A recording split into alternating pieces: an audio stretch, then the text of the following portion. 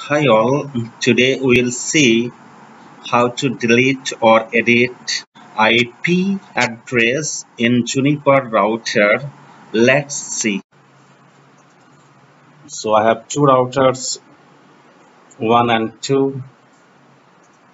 Now open the CLI one, see what is the IP address configured.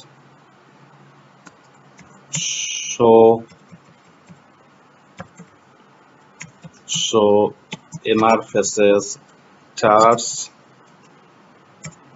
see the IP address of interface Ethernet 1 it's 192.168.1.1 slash 24 now we'll change the IP address of this interface.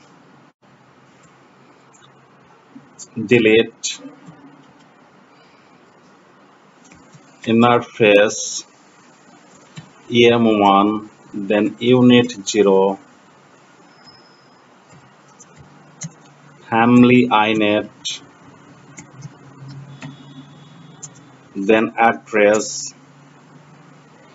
192.168.1.1 slash 24 now show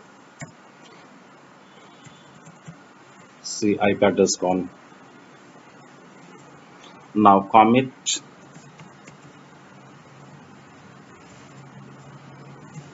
Commit. Now exit. Show interface terse see there is no IP address. Now again configure the IP address then set interface em1 unit 0 uh, family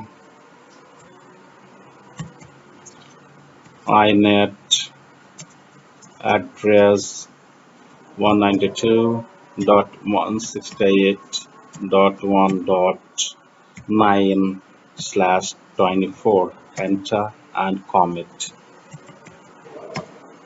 Now exit and see show interfaces terse. Yeah we can see the ipad thanks for watching. See you in the next video. Bye